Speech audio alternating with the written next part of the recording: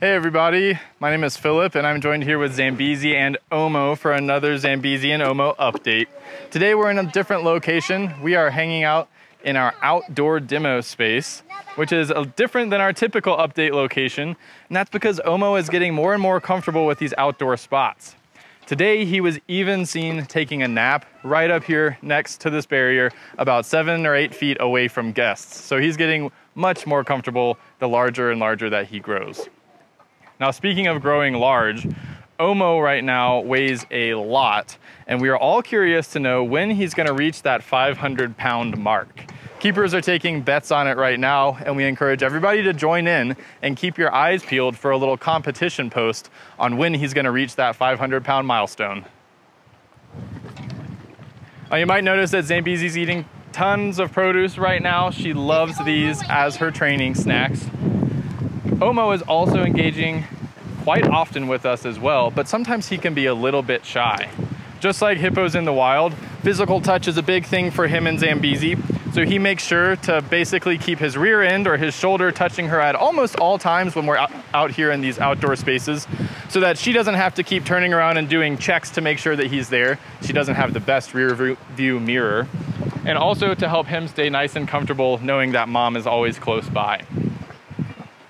One fun thing about these outdoor yards for Omo is that he gets very, very sleepy.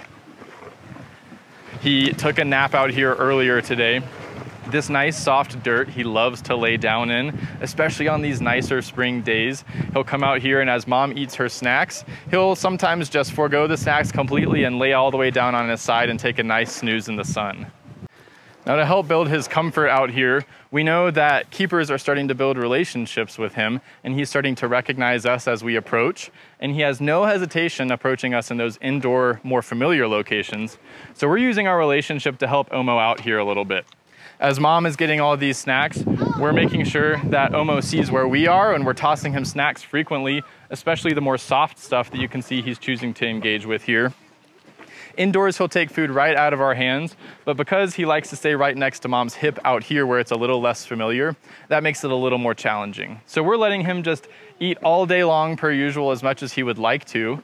As long as he looks nice and comfortable, we will allow them to stay out here. And if there's any signs of discomfort, we just bring them right back inside. As you can see, when Zambezi opens her mouth, there's a really big assortment of fun snacks in here. There's grass, there's cabbage, there's oranges, apples, a little bit of dirt mixed in too. Tooth care for hippopotamus is really important. Zambezi has allowed us to reach into her mouth and pull out any impacted hay and even brush her teeth we do that pretty much on a daily basis, and that's a really important trained behavior that's crucial to her veterinary care and her longevity. She's 29 years old, and Omo, being just almost 10 months old, is starting to build those foundational relationships with keepers that we spoke of before. And that's why it's so important that we have those relationships, is so that we can help him to choose to be a part of his own veterinary care, choose to build relationships with guests, and choose to be a part of his own welfare.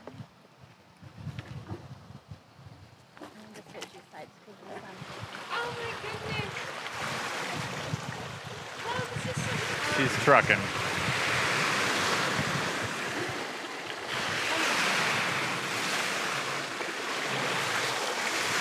Thanks so much for joining us for another Zambezi and Omo update. Stay tuned for more milestones about Omo and his mom here at Water's Edge Africa at Cheyenne Mountain Zoo.